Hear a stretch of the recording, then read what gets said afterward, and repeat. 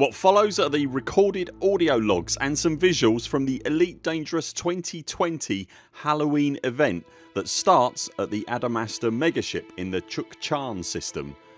If you've not followed the trail that leads from there then what you're about to see and hear should be considered spoilers and you might want to stop watching now.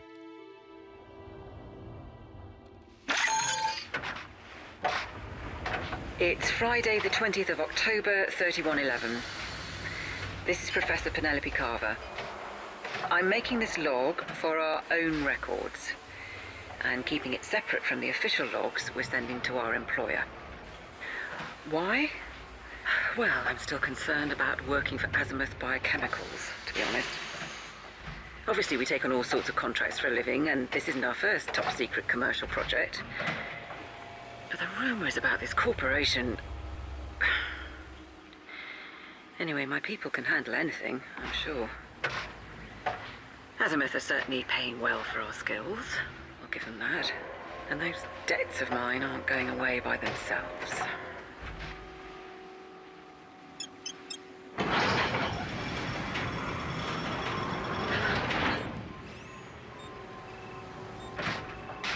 The Coalsack Nebula has turned out to have a lot more scientific value than I expected. We established a site on this planet on the 13th after we detected some very odd signals, and the whole team is excited about what we found. That's another reason I'm logging this. If this turns out to be a big discovery, I want our names attached. The things growing here are like nothing on record. Definitely organic life, but with crystalline or metallic elements and chemistry that even O'Keefe can't make sense of. They're giving off signal bursts on all sorts of frequencies. So are they living organisms or machines of some kind? Murphy and Sheng both think they're alien in origin, as in constructed by non-humans. But Kamalo found that so hilarious we had to turn off his comms. Our transport ship is long gone by now. But Taylor's using the beacon to transmit our findings back to the company in the Chukchan system. She said the built-in encryption software is top of the line. Which makes me think the stories about Azimuth and its rivals might be true. They obviously want to keep whatever we find, all to them. Oh. Something's going on. I can hear everyone shouting. D- did the scouting party find something?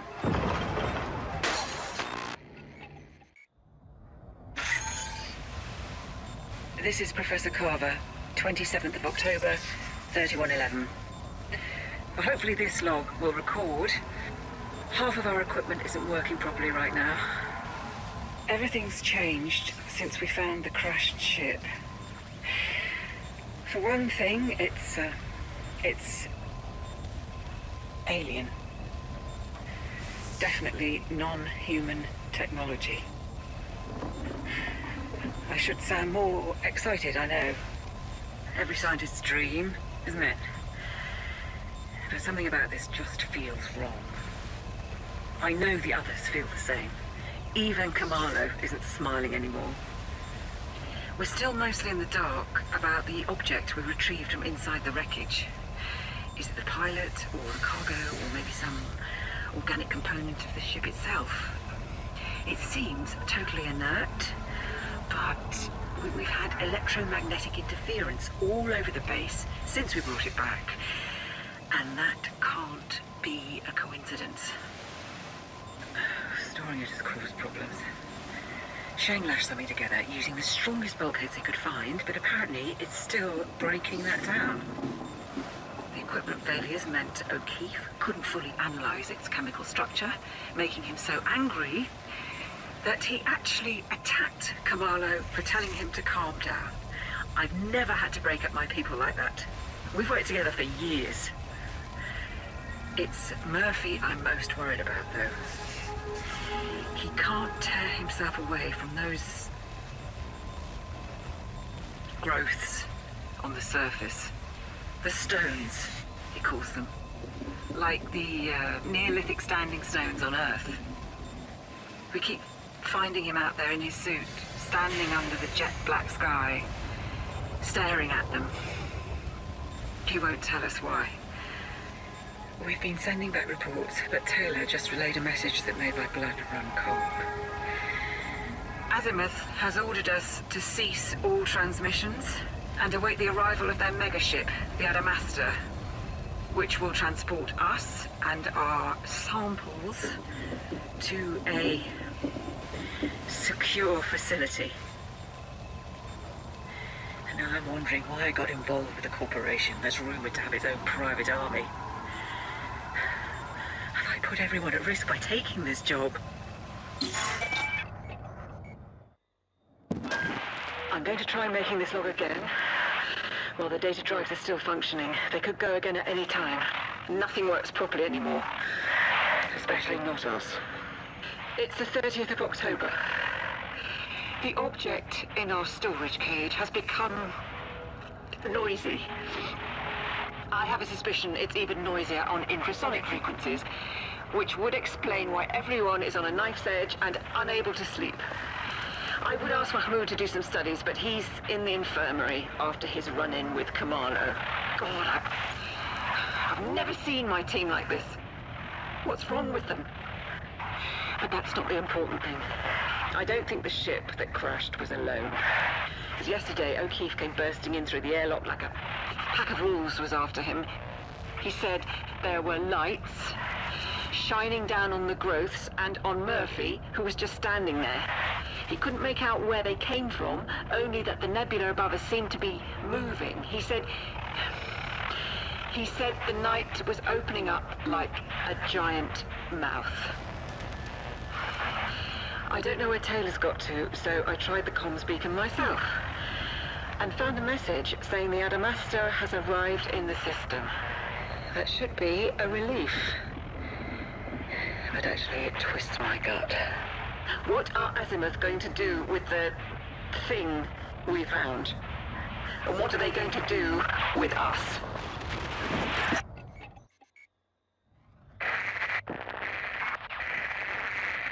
It's working. Link is working. Can anyone hear me? Is anyone still back at base? This is... God, I don't remember. I'm not... Dominic, Dom Dominic Murphy. That's... that's who I am, yes. This is... Dr. Murphy reporting. I'm a geologist, part of Professor Carver's planetary survey team, but I... I... I think... I think they're all dead. Uh, I was empty with the stones when the Sidewinders arrived. I watched them come down like like birds with with broken wings. Lights flickering on and off, just just like the base had been for days. There were soldiers everywhere with with, with, with rifles and armored suits. I, I, think they loaded the cage onto one of the ships, which which took off again, uh, just about. And then a few of the soldiers. I saw the flashes inside the buildings. Gunfire. Yeah, uh, something exploded. Main comms relay, I think. But, but then, then, then came more lights. Strange lights, like, like that rippled like snakes, and and and and, and that, blackness again, opening up in the sky. They tried to get. They tried to get away on foot running out to, to where I was hiding, and I thought he, I thought he'd see me. But then, then they were all flying up like like toy soldiers thrown in the air, pulled up into the lights.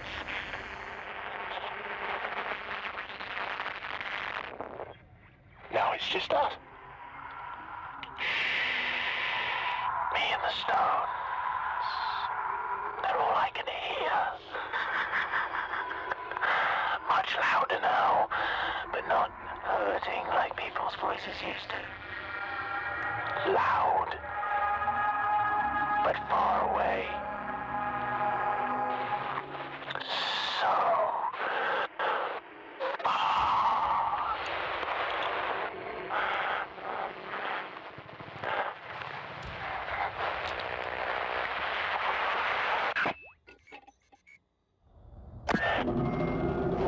This is Professor Carver. I've just got time to record this before the others join me, in case we don't make it. Things went to hell on the Adamastor much faster than before. When it left orbit without picking up the rest of my team, we were furious. Weirdly, so were some of the soldiers, mercenaries, just like the rumours said. They demanded to know why half their squad had been left behind, but the British crew refused to explain anything. Then the power fluctuations started. Shane O'Keefe and I knew what was coming. And the cage they've constructed in the cargo hold isn't going to be strong enough. Even the Adamastor's hyperdrive keeps failing. They're making emergency repairs to it now, while we're passing through some unexplored system with half the ship in darkness. And this sounds crazy, but even though the nebula is 300 light years behind us, it feels like it's reaching out, trying to drag us back, swallow us whole. When all the security systems crashed, I took my chance and broke into one of the sidewinders, uh, and we, we're going to jump ship. I need to get my people out.